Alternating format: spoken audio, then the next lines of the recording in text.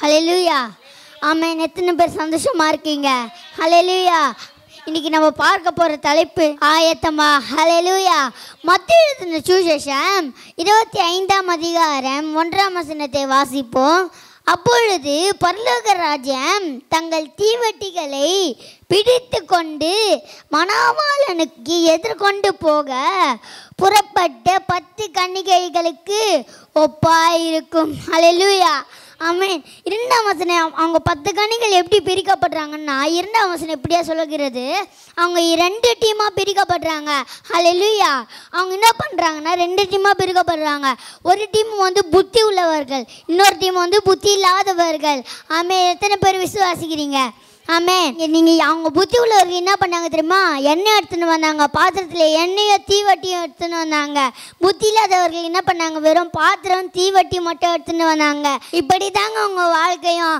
இப்போ உதாரணத்துக்கு இப்போ நாலு பேர் தர சபைக்கு வராங்கன்னு நினச்சிக்கோங்க. இப்போ நாலு பேர் சபைக்கு வராங்க. அப்போ அவங்க என்ன பண்ணுறாங்க ரெண்டு பேர் பைபிள் எடுத்துன்னு வராங்க. ரெண்டு பேர் பைபிள் எடுத்துன்னு வரல. அப்போ பாஸ்டர் பைபிள் வாசிக்க சொல்கிற ரெண்டு பேர் என்ன பண்ணுறாங்க பைபிளை வாசிக்கிறாங்க. ரெண்டு பேர் என்ன பண்ணுறாங்க பக்கத்தில் பக்கத்தில் பக்கத்தில் பதில் பார்த்து என்ன பண்ணுறாங்க பார்த்து பார்த்து நீ இப்படிலாம் போனால் உருப்படாது. அப்படியே தான் நம்ம வாழ்க்கை போயினே இருக்கோம். அவங்க என்ன பண்ணாங்கன்னா புத்தி உள்ளவர்கள் வாஞ்சையோடு வந்தாங்க வாஞ்சையோடு போனாங்க. நான் போனோம் பிரயாசப்பட்டாங்க. அவங்க பிரயாசப்பட்டு அவங்க என்ன பண்ணாங்க? கல்யாண வீட்டுக்குள் பிரவேசித்தாங்க. அப்போ அவங்க என்ன பண்ணுறாங்கன்னா ரெண்டு டீமாக பிரிக்கப்படுறாங்க. புத்தி உள்ளவர்கள் ஒன்று புத்தி இல்லாதவர்கள் ஒன்று புத்தி உள்ளவர்கள் என்ன பண்ணுறாங்க அங்கே பத்து கனிகள் புறப்படுறாங்க. அங்கேருந்து மணவாளனுக்கு சந்திக்க சந்திக்க போடும்போது புறப்படுறாங்க. அங்கேருந்து புறப்படும் போது அவங்க வந்து ரெண்டு டீமாக பிரிக்கப்படுறாங்க. ஒரு டீம் வந்து புத்தி உள்ளவர்கள் ஒரு டீம் புத்தி இல்லாதவர்கள். அமேன் புத்தி இல்லாதவர்கள் தாங்கள் தீவட்டிகளை எடு எடுத்துக்கொண்டு போனார்கள். என்னையோ கூட கொண்டு போகவில்லை. புத்தி உள்ளவர்கள் தீவட்டிகளோடு கூட தங்கள் பாத்திரங்களில் என்னையும் கொண்டு போனார்கள். அலையிலுயா புத்தி இல்லாதவர்கள் என்ன பண்ணாங்க? என்னை கொண்டு போல? புத்தி இல்லாதவர்கள் என்ன பண்ணாங்க? பு- எடுத்துன்னு போனாங்க? மணவாளன் வர தாமதித்த போது அவர்கள் எல்லாரும் நித்திரை மயக்கம் அடைந்து தூங்கி விட்டார்கள் ஹalleluya. என்ன பண்ணுறாங்களா நித்திரை மயக்கம் அடைந்து தூங்கி விட்டாங்களாம் ஆனால் அங்கங்கே தேடுறாங்க. மணவாள வருவாரா வருவாரா வருவாரா வருவாரான்னு தேடுறாங்க. அவரை வருவேல அவங்க என்ன பண்ணுறாங்க நித்திரை மயக்கம் அடைந்து சோகம் அடைந்து தூங்கிட்டாங்க. தூங்கினவனே நடு ராத்திரிலே இதோ மணவாளன் வருகிறார். அவருக்கு எதிர்கொண்டு போக என்கிற சத்தம் உண்டாயிற்று என்ற. ஹலலுயா நடு ராத்திரியிலே இதோ மணவாளன் வருகிறார். அவருக்கு எதிர்கொண்டு போக. புறப்படுங்கள். என்கிற சத்தம் உண்டாயிற்று. அவங்க என்ன பண்ணாங்க? தேடி தேடி போத்தாங்க மணவாளன் வரல. அவங்க என்ன பண்ணாங்க? சோகம் அடைந்து தூங்கிட்டாங்க. அப்போ என்ன பண்ணுறாரு நடு ராத்திரியில் வராரு. மணவாளன் வரும்போது எங்கே ஒரு சத்தம் எக்கால ஊதி சொல்கிறாங்க மணவாளன் வந்துட்டாரு. அவருக்கு எதிர்கொண்டு போக புறப்படுங்கள். அப்படின்னு சொல்கிறாங்க அவங்க என்ன பண்ணுறாங்க இடிச்சு பிடிச்சி எடுத்து பிடிச்சி ஏன்றாங்க? யாரா இது? யாரா இது? கெடுத்ததுன்னு பார்த்தா மணவாளன் வந்துட்டாரு. புத்தி இல்லாதவர்கள் புத்தி இல்லாதவர்கள் வந்து கேட்குறாங்க புத்தி இல்லாதவர்கள் புத்தி உள்ளவர்களை நோக்கி உங்கள் எண்ணெயில் எங்களுக்கு கொஞ்சம் கொடுங்கள். எங்கள் தீவட்டிகள் அணைந்து போகிறது என்றார்கள். என்ன சொன்னாங்களா? அவங்க சோகமாக சொல்கிறாங்க எங்கள் தீவட்டிகள் அணிந்து போகிறது என்ன சொல்கிறாங்க அவங்க என்ன நீ முன்னாடியே இருந்து வைக்கணும் இங்கே தான் போகிறேன்னு தருதுல? ஊருக்கு போனோன்னா ட்ரெஸ் எடுத்து வைக்கிறேன் மேக்கப் பண்ணுறேன் சீப் எடுத்து வைக்கிறேன் கண்ணாடி எடுத்து வைக்கிறேன் எல்லாத்தையும் எடுத்து வைக்கிறீங்களே ஒரு மனவாளனை பார்க்க போகும்போது என்ன எடுத்து வைக்கணும் என்னையும் எடுத்து அது முன்கூட்டியே நீ கிளம்பணும். ஆயத்தமாக இருந்தால் தான். ஆயத்தமாக இரு. ஆயத்தமாக இப்போ நம்ம ஆகுவோம். ஹalleluya அப்போ ஊருக்கு போனோன்னா ட்ரெயின் இப்போ ட்ரெயின் ஏறணும்னா முன்னாடியே நம்ம புக் பண்ணுறோம் ஹalleluya இப்போ என்ன பண்ணுறோன்னா ஒன்பதாம் வசனத்தை வாசிப்போம். புத்தி உள்ளவர்கள் பிரஜோத்திரமாக அப்படி அல்ல எங்களுக்கும் உங்களுக்கும் போதாமல் இராதபடியால் கிரீடத்திற்கு போய் உங்களுக்காக வாங்கி கொள்ளுங்கள் என்றார்கள். ஹalleluya அம்மே என்ன சொல்கிறாங்கன்னா நீங்கள் நீங்கள் அப்படி அல்ல. உங்களுக்கும் எங்களுக்கும் போதுமான மடியால் தான் இருக்குது உங்களுக்கு நம்ம ரெண்டு பேரும் போகாமல் இருக்க தேவையில்ல. யாருன்னா ஒத்துராச்சு போகலான்ட்டு அவங்க என்ன பண்ணுறாங்க இப்போ கிளம்புறாங்க. அப்போ அவங்க சொல்கிறாங்க புத்தி உள்ளவர் சொல்கிறாங்க புத்தி உள்ளவர் எவ்வளோ புத்தியாக இருக்கிறாங்க பாருங்க. அவங்க சொல்கிறாங்க நீங்கள் விற்கிற இடத்திற்கு போயிட்டு வாங்கிக்கொள்ளுங்க எங்களுக்கும் கொஞ்சம் தான் இருக்குது. அப்படின்னு சொல்கிறாங்க புத்தி இல்லாதவர்களாக இருந்திருந்தாங்கன்னா அவங்க என்ன பண்ணிருப்பாங்க? கைவிடப்பட்டிருப்பாங்க.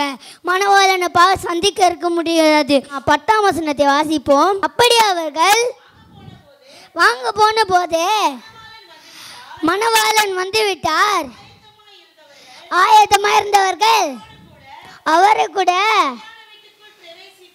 கல்யாண வீட்டுக்குள் பிரவேசித்தார்கள். அலலுயா அமேன் கல்யாண வீட்டுக்குள் பிரவேசித்தார்கள். அப்படி அவர்கள் வாங்க போனபோது அங்கே விற்கிற இடத்திற்கு அவங்க புத்தி உள்ளவர்கள் சொன்னாங்க.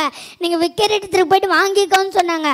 புத்தி இல்லாதவர்கள் என்ன பண்ணாங்க? அப்படியே அவர்கள் என்ன பண்ணுறாங்க விற்கிற எடுத்துருக்க போகும்போது என்ன பண்ணுறாங்க போகும்போது என்ன பண்ணுறாங்க போயிட்டே இருக்கும்போது மணவாளன் வந்துட்டார்.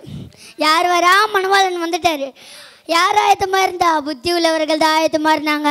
இப்போ அவங்க எண்ணெயை கொடுத்துருந்தாங்கன்னா அவங்களும் கைவிடப்பட்டிருப்பாங்க. அலையிலுயா என்ன பண்ணிருப்பாங்க அவங்களும் கைவிடப்பட்டிருப்பாங்க. அவங்க புத்தி உள்ளவர்களாக இருந்ததுனால தான் நீங்கள் புத்தி உள்ளவர்களாக இருங்க. அப்போ தான் நீங்கள் புத்தி அங்கே போவீங்க. மணவாளனை சந்திக்க போவீங்க. இப்போ நம்ம கல்யாண வீட்டுக்குள் பிரவேசிக்கலாம். வசனத்தை வாசிப்போம்.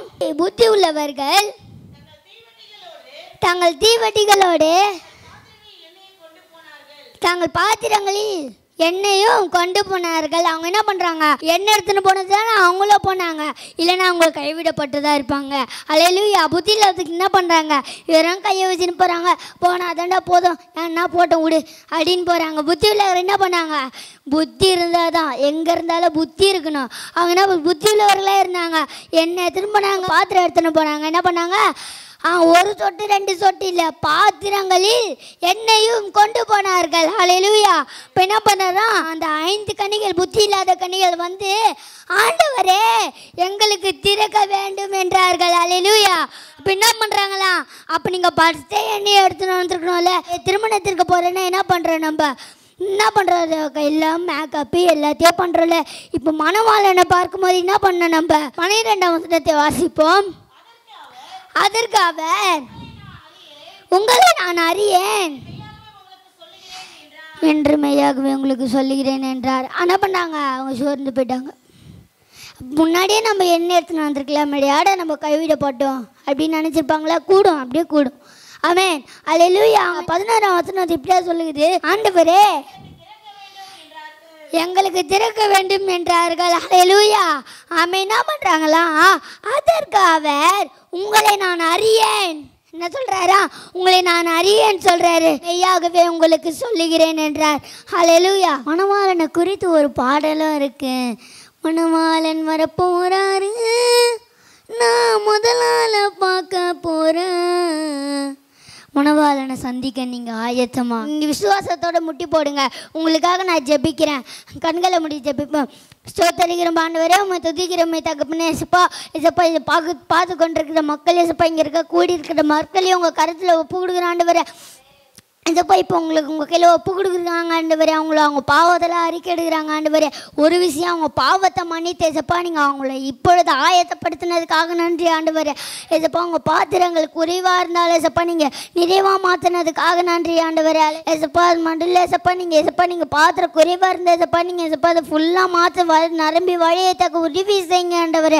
எசப்பா யாரெல்லாம் இப்போ எசப்பா கஷ்டத்தோடு இருக்காங்களோ நஷ்டத்தோடு இருக்காங்களோ கடன் பிரச்சனை இருக்காங்க அதெல்லாம் நீங்கள் மாற்றி போட்டுற எசப்பா உங்களுக்காக வயராக்காமல் எழுங்கத்தப்ப உதவி செய்யுங்க ஆண்டவர். எசப்பா அது மட்டும் இல்லை உங்களுக்காக வயிறக்கமாக இருக்கத்தக்க உதவி செய்யுங்க ஆண்டவர். எசப்பா ஆயத்தமாக இருக்கத்தக்க உதவி செய்யுங்க சப்பா உங்களுடைய வருகையில் சப்பா உங்க அவங்கள தெரிந்து கொள்ளத்தக்க உதவி செய்யுங்க ஆண்டவர். எது பேசு கிறிஸ்டின் ஜெயம் நாமத்தில் பிதாவே. அமேன்